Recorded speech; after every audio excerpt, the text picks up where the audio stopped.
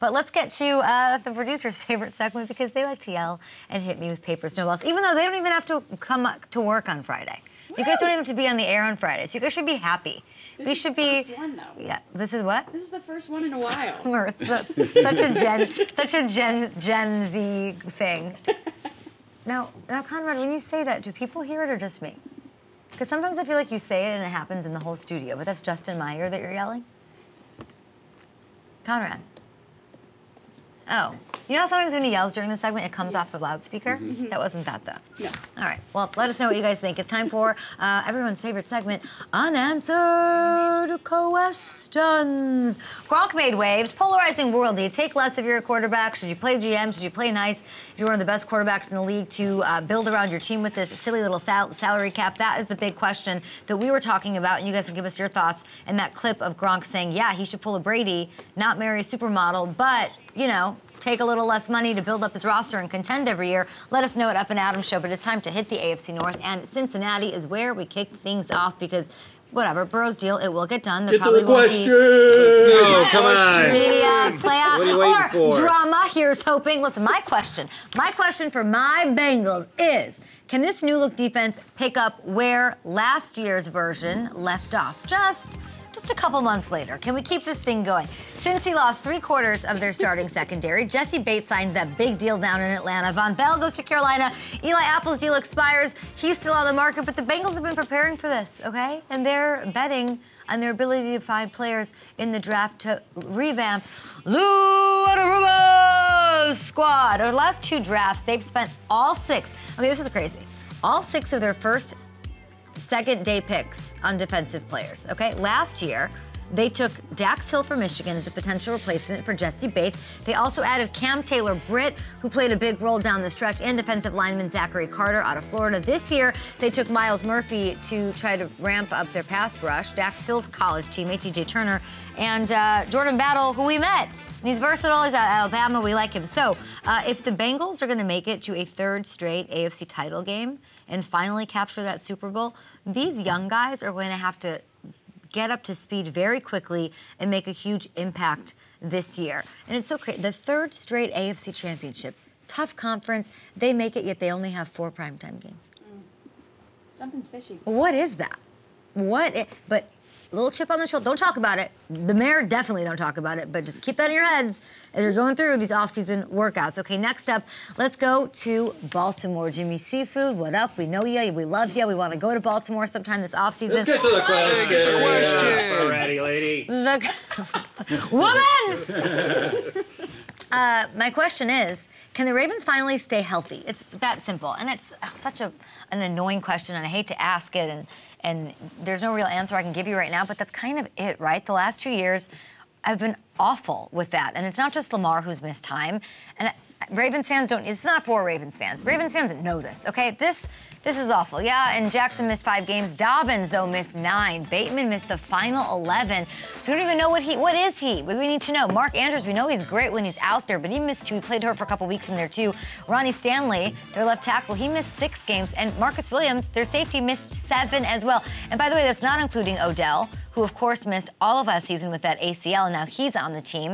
Um, and that's an injury from the Super Bowl. The Ravens team is loaded, objectively. Like we, I've given Eric DeCosta a lot of grief over the years, and he did exactly what they needed to do to upgrade the weapons around Lamar.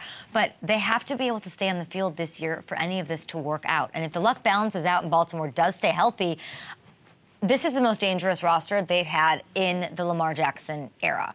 And that makes it tough. And you're looking at, you know, do the do the Bengals go back to the AFC Championship game with this roster staying healthy, looking like it is? It'll be so fun to watch. And they play each other week two, which we talked about on our show after schedule release while all of you guys are talking about Aaron Rodgers up against Patrick Mahomes. They're sneaky play, these this Ravens squad over at FanDuel Sportsbook. They have the fifth best odds to win the AFC right now.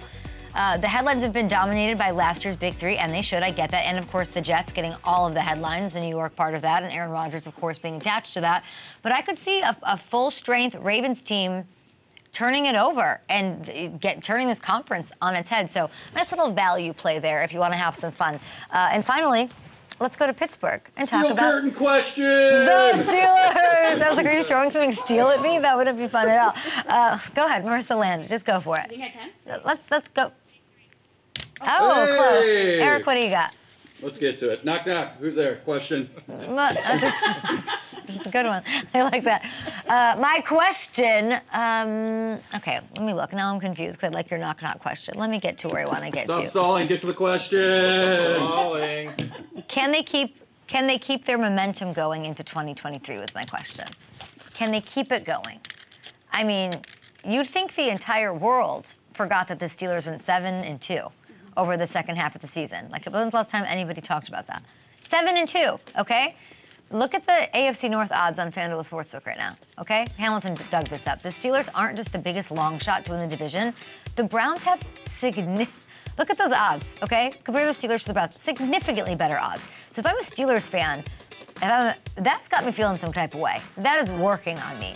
Have we learned nothing from the past 16 years, people? Last season should be the definitive proof that Mike Tomlin is never going to have a losing record. It's never going to happen. And with the way that Kenny Pickett and this young squad played down the stretch, why would anybody think that this team's just going to fall off the ledge and disappear in 2023?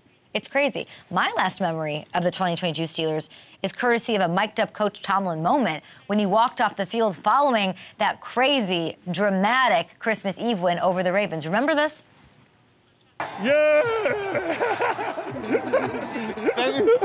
We grew up tonight. We grew up tonight.